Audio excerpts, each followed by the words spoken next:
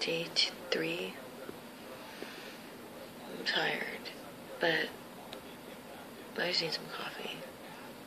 So I'm gonna drink some coffee, read today's Parsha, drink some more coffee, and get this workout done with. Well, I just got back from walking the Mertzes. Um, I'm tired. so it is 8.37. I'm gonna wait, um, wait till about 9.15, then I'm gonna go to the gym. I need to drink this coffee. It's gonna be one of them days. Hopefully I kick out soon. One, two.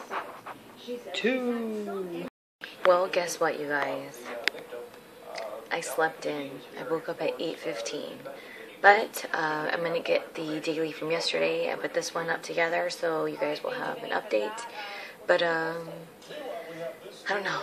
I was doing work, work, work, and then I told myself at like 2, I'm to go to the gym. So I clocked in at 8.30.